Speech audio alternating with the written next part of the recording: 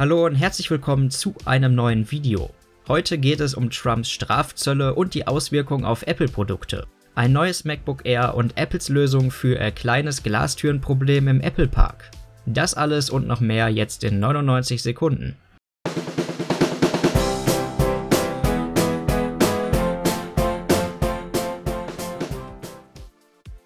Schon beim Bau des neuen Apple Campus ist ein Bauunternehmer gegen eine Glastür gelaufen. Im Januar haben sich dann drei weitere Apple-Angestellte an den Glasscheiben verletzt.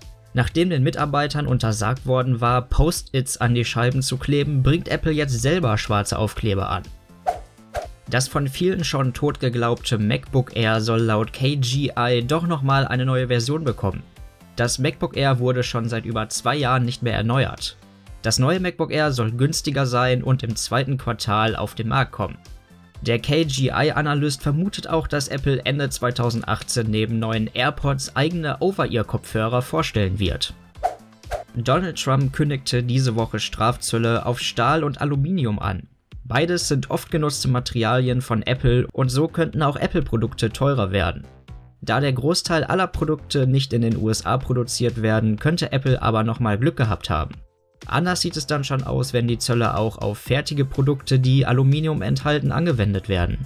Aber keine Sorge, erstens ist noch nicht genau klar, wie Trumps Pläne aussehen und ob er sie nach scharfer Kritik aus der Industrie auch durchzieht. Und zweitens, sollte es tatsächlich dazu kommen, reden wir über Preiserhöhungen im Bereich von wenigen Euro.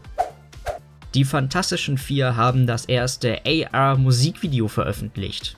Die App nutzt Apples AR-Kit und funktioniert dementsprechend gut.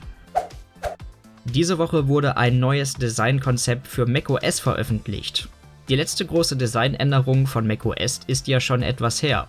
Ob Apple nach dem letzten mageren Update so einen großen Schritt macht, ist aber eher ungewiss, da sie sich zumindest bei iOS lieber auf die Performance konzentrieren wollen, anstatt viele neue Features zu entwickeln. Wollt ihr, dass Apple sich beim neuen macOS lieber auf die Performance konzentriert oder auf ein neues Design und Features? Schreibt eure Meinung gerne in die Kommentare. Vielen Dank fürs Zuschauen. Tschüss.